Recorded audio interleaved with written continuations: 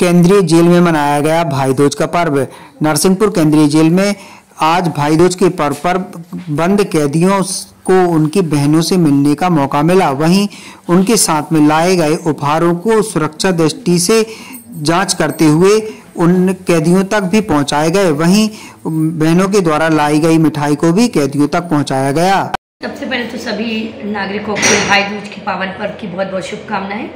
हाँ आज एक विशेष छूट हम आ, सभी कैदी भाइयों को दे रहे हैं। बहुत सी महिलाएँ जो आई है अपने साथ मिठाइयों के डब्बा लेकर के आई हैं और बार बार आग्रह कर रही थी जी, जी। कि वो अपने घर से बनी हुई मिठाई भाई दूज पे अपने भाई को देना चाहती हैं। इसलिए 250 ग्राम का आ, जो मिठाई का बॉक्स है हम्म। आ, उसे हमने एक व्यक्ति के मान से 250 ग्राम के मान से आज अलाउ किया हुआ है और साथ ही जो भी दिवाली के उपहार लेकर आए हैं उनको भी सुरक्षा जाँच के बाद शाम को सभी कैदी भाइयों को वितरित कर दिया जाएगा। जी।